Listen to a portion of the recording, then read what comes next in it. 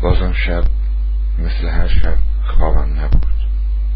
در آن شهر دور خودم را به کنار پنجره کشیدم. بیرون تاریک بود.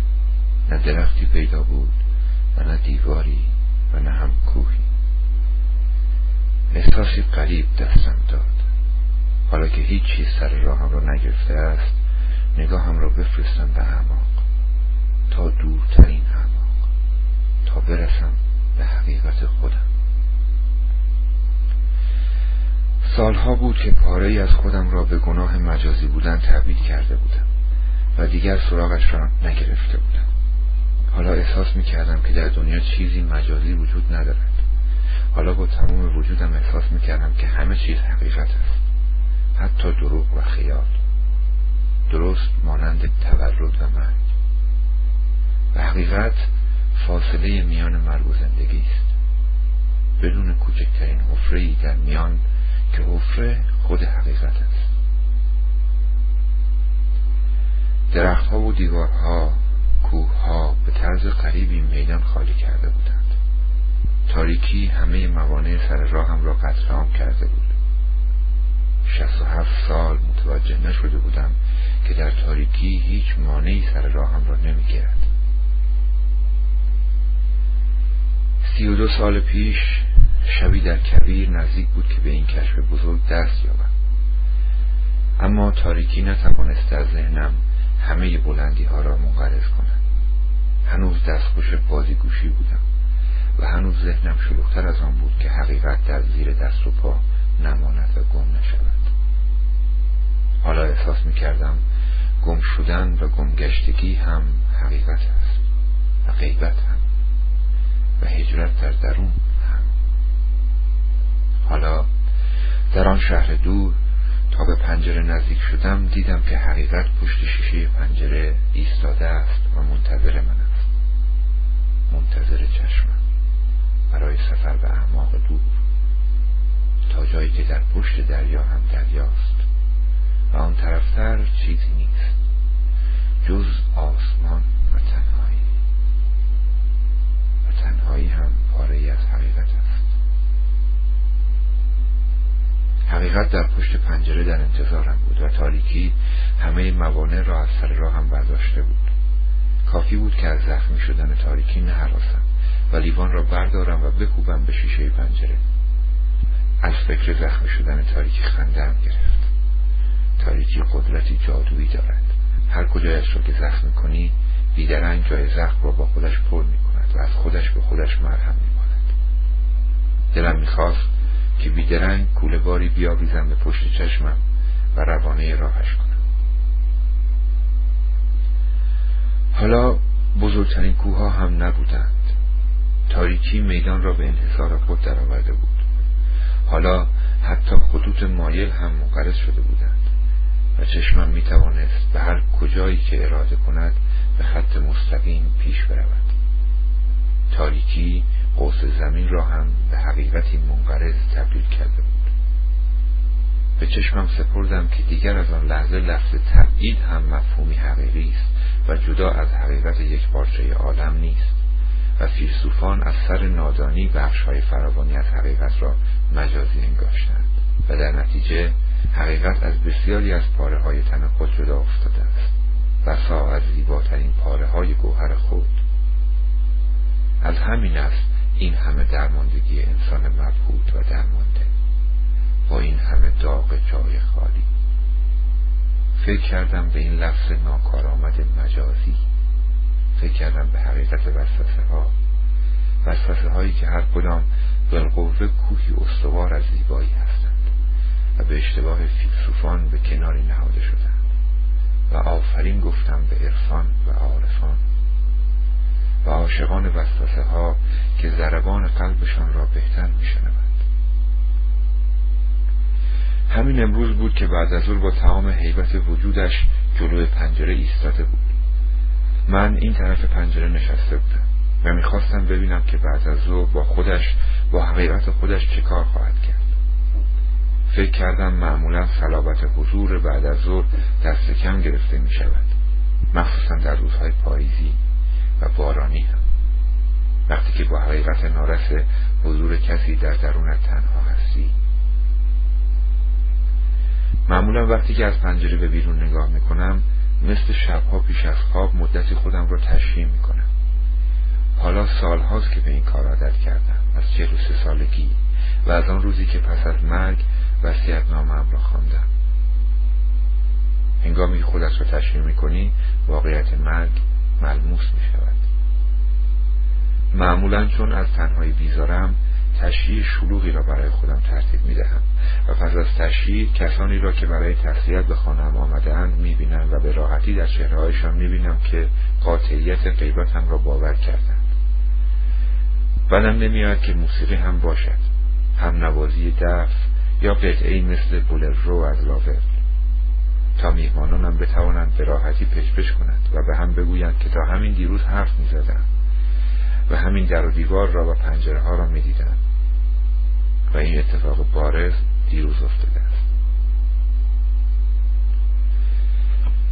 چند لحظه دست چپم را رها کردم به بیرون. بعد باران را با پلکهایم شور کردم. دستم بوی آسمان می‌داد. بوی آشنا. فرقی نمی کند که نسیم یا باد از کدام سوی می آید بوی آشنا را می شناسم مثل بوی چادر مادرم. بعد از ظهر با همه حقیقت وجودش جلو پنجره ایستاده بود. بلا تکلیف. مردی دلتنگ هم پشت پنجره روبرو ایستاده بود. سواد چشمهایش برایم آشنا بود. به خوبی بعد از ظهر نگاه می‌کرد به آسمان که عظمتش قربتش را از پای در نیاورده است. نمی‌دانستم بوی کدام آسمان برایش آشناتر است. با دستهایش دو طرف قاب پنجره را گرفته بود. به یاد مسیح افتادم بر صلیب در آن روزهای آبستن و پرگرد و غبار. ناصریه و بیت الله از یادم گذشتند که خودم این کار را بارها کردم.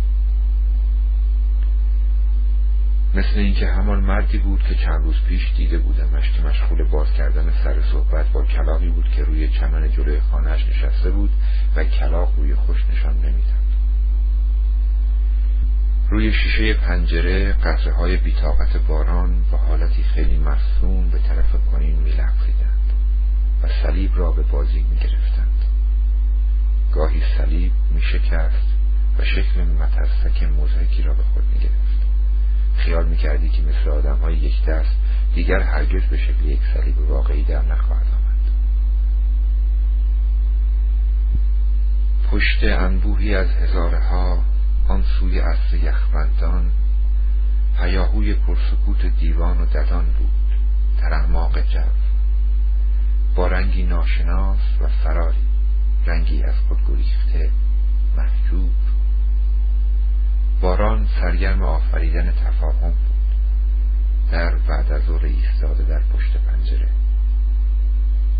فکر کردم که باران همیشه انباشته از حرفهای ناگفته است. فکر می‌کنی که حرف باران هرگز تمام نخواهد شد. فکر می‌کنی که باران از ملازمان رودهاست و در رودها هم حرفهای خودش را زمزمه می‌کند و در دریا هم. در دریا هم زمزمه می کند هم می گوید و هم داد می کشد و می در این حال رسم لطف و طریق می داند فکر می کنی که باران دل از دلش نمی کند به هزار زبان. و در کنار سخره های سنگی لب دریا بی اختیار بی اختیار دلم خواست که کاش زمزمه بخار فنجان قهوهم را می شنیدم سرم را از پنجره گرفتم و انداختم پایین.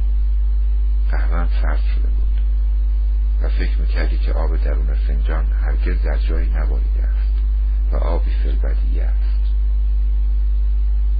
فکر کردم کاش می‌توانستم باران را دیوانه کنم تا از سر دیوانگی هرچه دارد بریزد به بیرون و تکلیف همه و من را روشن کنم باید چیزی ناگفته وجود داشته باشد. نیازی به فلسفه نیست. چیزی ناگفته از قلم افتاده است. چیزی دست کم از جنس آینه اگر نه از جنس جام جهان بین. سرم را که دوباره بلند کردم در پنجره روبرو مرد جایش را عوض کرده بود. او دیگر نبود. یک آن فکر کردم که جایش را به نیستی بخشیده است. از مهربانیش دلم گرفت. یک دل گرفتگی غیر مترقبه. مثل این گونه مواقع او رفته بود و جایش را در پشت پنجره برای من گذاشته بود. فکر کردم که جای آدمی خیلی بارز است. آدمی هم ممکن است مثل گلدان داغی از خود بر جای بگذارد یا تابلویی که مدتی بر روی دیواری قرار داشته است. من خیلی پیش آمده است که با داغ تابلوها بیشتر از خود آنها زندگی کردم. داغ تابلوها را راحت می شود با داغ یک خاطر مقایسه کرد. داغ خاطره ها هم شباهت غریبی به تابلو دارد مثل داغ یا داغ های یک آشنایی غیر مترقبه در حقیقت خاطره را لایه های یک مش داغ درست می کند که اگر تکانش ندهی تبدیل به فسیل می شود فکر کردم یک بار دیگر تاریکی را لمس کنم. حس غریبی داشتم. که تاریکی از نزدیکترین جای به خودش تا به اعماق همه فاصله را حذف می کند تاریکی قدرت غریبی دارد در یک درس کردن جهان و اجازت می دهد که به صدای تپیدن قلبت اعتنای بیشتری بکنی اسکندر پارسی نزدیک بود که به ظلمات برسد. ظلمات حقیقت را بی محابا می کند و رهایی می بخشد از بند روزگاران ظلمات بستر حقیقت است به دور از چشم اغیار آدمی به آسانی با تاریکی یکی می شود و بی نیاز از مرزها. مرزهایی که میان تولد و مرگ سرگردانند و هرگز توان آن را نمییابند که از اعتبار نیفتند. و همیشه احساس می‌کنید که مرز مثل افق دریا ناشی از خودش نیست. حاصل میدان دید توست. بیدرنگ احساس می‌کنی که مرز دروغ محض مانند افق. حالا می توانستم پاره تبعیدی خودم را با نوازش تاریکی لمس کنم. دعوتش بکنم به اتاق. بنشانمش روبرویم و یا در کنارم. سوال پیچش کنم و از او بخواهم تا از خاطره های بدون بامنش برایم تعریف کند. و بگوید که به کجاها سر زده است و روزگار را بدون من چگونه سپری کرده است. و از او بپرسم که خبر دست اول چه دارد و بعد در کنار او آرام بگیرم. دستم را بردم به سوی پنجره کشویی. پیش از اینکه اراده کنم آن را گشودم. تاریکی سردی صورتم را نوازش کرد. تاریکی توی اتاق که آمد دیگر دیده نمی‌شد. تا آن شب هرگز فکر نکرده بودم که تاریکی تنها موجودی است که در روشنایی دیده نمی شود. احساس کردم که تمیز و خوش است. بوی چادر مادرم را می‌داد. زمستانها هر وقت که مادرم از بیرون می آمد فورا چادرش را می گرفتم و صورتم را در آن غرق می کردم دستم را از پنجره فرستادم به بیرون تا تاریکی را لمس کنم. هیچ مقاومتی نکرد. بدنش سرد بود. فکر کردم لابد سردش است اندامی تمامند داشت. فکر کردم بلافاصله از پنجره تن تاریکی هزاران کیلومتر در افق بزرگتر از هر چیز دیگر است. فکر کردم تاریکی دارد به پنجره های گلبهی نگاه می کند تا آن شب همیشه گفته بودم پنجره های نارنجی اما آن شب برای پنجره های روشن رنگ گلبهی را ترجیح می دادم فکر کردم لابد چشمم توی راه غریبی می کند اما بلا فاصله یادم آمد که تاریکی نخواهد گذاشت که کسی چشمم را ببیند. رنگ گلبهی مهربانی غریب دارد. احساس می‌کنی که در آن واحد می‌تواند میزبان همه رنگ های عالم باشد. مثل یک چنار پاییزی. حالا احساس می‌کردم که رنگ نارنجی پنجره ها می‌تواند خیلی تودار باشد و می‌تواند هم میزبان زیباترین لطافت ها باشد و هم هولناکترین اندوه ها و پریدی ها آن شب هیچ حوصله برای پریدی ها نداشتم. در بیست سالگی در سفری دور و دراز سر از اعماق جنگل درآوردم. کلبه یافتم چوبی که فقط یک اتاق داشت. با یک تراس و به اندازه خودش. با نزدیک شدنم به کلبه مردی لاغرندان و بلند بالا آمد به بیرون. مانند نردبانی که پله هایش بردباری خود را از دست داده بودند. هوا گرم و شرجی بود و همه چیز در حال بخار شدن بود. سلامش کردم. با لبخندی گرم و شرجی جوابم را داد. بعد مثل اینکه منتظرم باشد دعوتم کرد تا روی نیمکت تراس بنشینم و گفت که می‌رود که قهوه بیاورد. از لحجهش فهمیدم که ارمنی است. اسمش را بعد فهمیدم که ساهاک است. و بعد فهمیدم که با درگذشت همسرش سالهاست که تنها شده است و تنها در وسط جنگل زندگی می کند. و بعد از مردم منطقه شنیدم که او محبوب همه است و همه دوستش دارند. و بعد فهمیدم که وقتی که ترکش می‌کنی احساس می‌کنی که چیزی لازم و ضروری و دم دستی را از دست داده ای و بعد احساس می‌کنی که دیگر نخواهی دیدش و ممکن است که همین هشتاد و پنج سال بسش باشد. چند مرغ و خروس و مرغابی در فضای بازی که به مرور به فضای بازی تبدیل شده بود مثل معمولک ها یا راه می‌رفتند و یا می و گاهی هم خیلی قافلگیر کننده می دویدند. سهاک با دو فنجان قهوه ترک در سینی دست لرزانش می برگشت در اتوبوسی که برمیگشتم خیال می کردم که تمام آمریکای لاتین را توی ریه هایم دارم حرف های ساهاک از دایره به قطر یک کیلومتر بیرون نمی رفتن و یا در فضایی به همین کوچکی و یا بزرگی می ماندن. پیدا بود که دوست داشتن به میدانی بزرگتر نیاز ندارد ساهاک آکنده از عشق بود. فکر می‌کردی که دولت عشق او را پاینده کرده است. زنش را کنار کلبهش چال کرده بود. همان جایی که مرغ و خروس ها و مرغابی ها بازی می‌کردند. زندگی آنها بیشتر بازی بود تا زندگی. ساهاک مرد پخته ای بود. از هر دری در همان نزدیکی حرف می‌زد. فکر می‌کردی که او هم مثل تاریکی همه فاصله ها را منقرض کرده است. من بدون درنگی چندان باور کرده بودم که او تمامی حقیقت را یافته است. چهرهش آکنده بود از حقیقت. از دستهای لرزانش و از چشمهایش که شبیه رتب بودند حقیقت میتراوید. مثل آب کوزهی که نمی‌تواند دست از تراویدن بکشد. وقتی که گفت برود یک قهوه دیگر بیاورد ناگهان گفتم نه. و بعد پرسیدم خبر دست اول چه دارد؟ سهاگ لحظه هایی به چشمهای جویایم خیره شد و بعد بیان که حرفی بزند به درون کل برفت و پس از یک دقیقه خسته کننده برگشت. تکه کاغذی نم برداشته توی دست لرزانش داشت. مثل یک تکه پارچه مندرس. گفت این خبر دست اول است. سالهاست که آن را از دیوار کلبرم آویختم و هر روز با خواندنش روز تازه ای را شروع کردم. دستم را بردم جلو که آن را بگیرم. دستش را عقب کشید. نه این به درد تو نمی‌خورد. تو که زبان ارمنی بلد نیستی. اگر قلم کاغذ به همراه نداری برایت میآورم.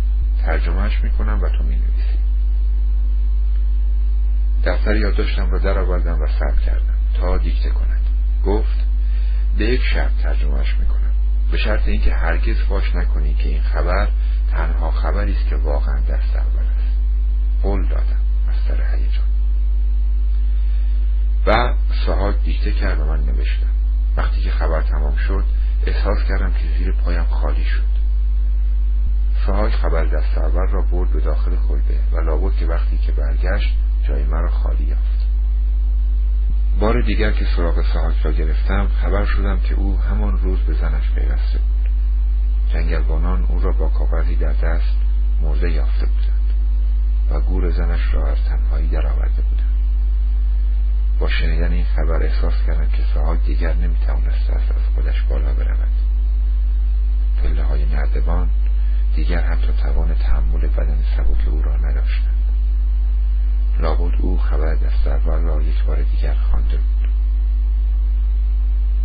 بعد برای خودش قهوه درست کرده بود قهوه را خورده بود و حتما پس از نگاهی به آسمان چشمهایش را بسته بود و یک جفت رتب را در پشت آنها پنهان کرده بود. شاید یک لحظه هم به من فکر کرده بود که آمده بودم و رفته بودم و هوا جایم را پر کرده بود. بعد لابد که برای آخرین بار به خبر دست اولی که توی مشتش بود نگاه کرده بود. بعد احساس کرده بود که چشمهایش حوصله خواندن ندارد سهاک دوباره آنها را بسته بود. این آخرین باری بود که او چیزی را بسته بود. و بعد جنگل کوچکتر و کوچکتر شده کلبه.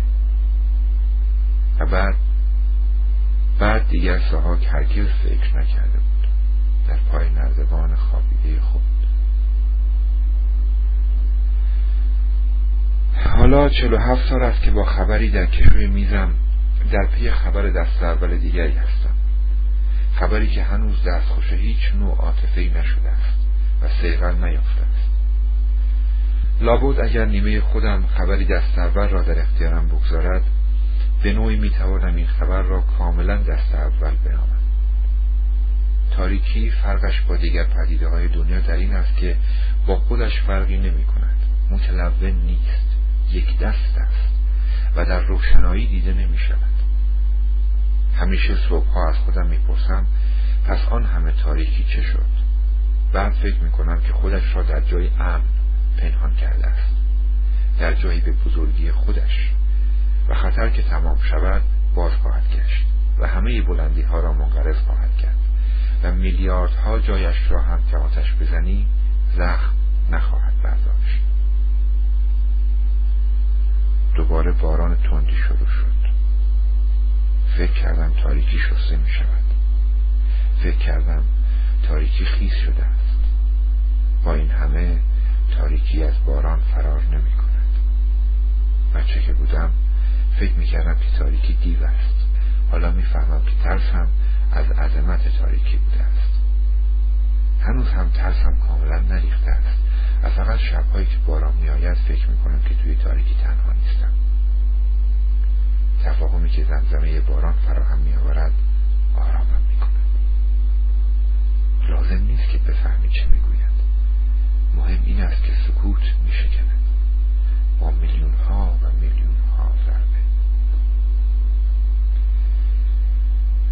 آشنایی با سهاک بود که سبب جدایی من از نیمه خودم شده بود.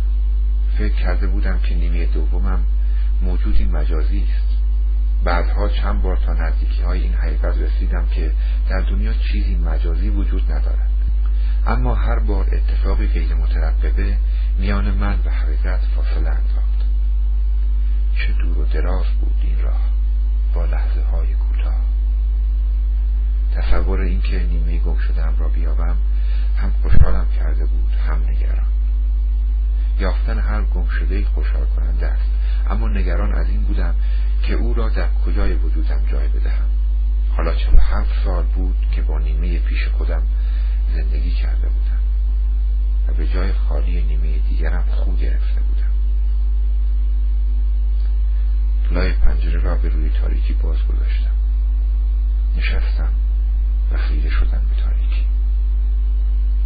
خیره شدم به ظلمات که اسکندر بیهوده برای یافتنش رنج سفر را به خود تحمیل کرده بود. در دور و نزدیک چراغهای تاریکی را سوزانده بودند و پنجره ها به رنگ گلبهی حکایت از تواضع تاریکی داشتند. احساس می‌کردی که تاریکی در حفره های خود عفو عمومی داده است. گزارشی که چشمم آورد شباهت قریبی به خبر دست اول ساعت داشت. باید که این فعل دوست داشتن فعل بسیار بغرنجی بوده باشد. با هزار بند بر پا بندهایی که هر کدام آبستن بندهای دیگر است. فعلی است که انجامش به دست خود آدمی نیست و هیچ کس نمی‌تواند به تنهایی تصمیم به دوست داشتن کسی بگیرد. همین است که هر وقت که تصمیم می‌گیری که دوست بداری میافتد مشکل ها از قدیم. پیوستن به نیمه دوم هم کار آسانی نیست. او هم رفته رفته بندهای خودش را یافته است. به گونه قریب باورم شد که نیمه تبعیدی بدنم ناآشنا با درگیری های سامان نیافته درونم می‌تواند بیشتر از این یکی نیمه هم با من سر سازگاری داشته باشد. برای از میان برداشته شدن رو در بایستی ها هم وقت باقی مانده کفایت نخواهد کرد. با همه تن در انتظار نیمه دوم بودم. تصمیم داشتم بدون قهر و آشتی های کش به محض پیدا شدنش به تاریکی بدون پستی بلندی بسنده کنم و دیگر به هیچ آزمایشی تن در ندهم از شواهد زیادی پیدا بود که در پشت پنجره گلبهی روبرو اتفاقی در حال افتادن است. اتفاق هم شخصیت قریبی دارد. جذابیت از ویژگی های بیدرنگ اتفاق است. می توانم به خودم بقبولانم که انگیزه اصلی طراحان نخستین پنجره ها میل درونی به در جریان قرار گرفتن در روند اقلا بخشی از رویدادها بوده است. اگر یک روز بیستم جلو پنجره و هیچ کسی را نبینم که اقلا میگذرد فکر خواهم کرد که خیابان را به جای دیگری بردند و جایش را چشماندازی از فضا گرفته است. حالا اگر زنبورها، مگسها، پروانه ها و پرندگان هم پیدایشان نشوند وا ویلا.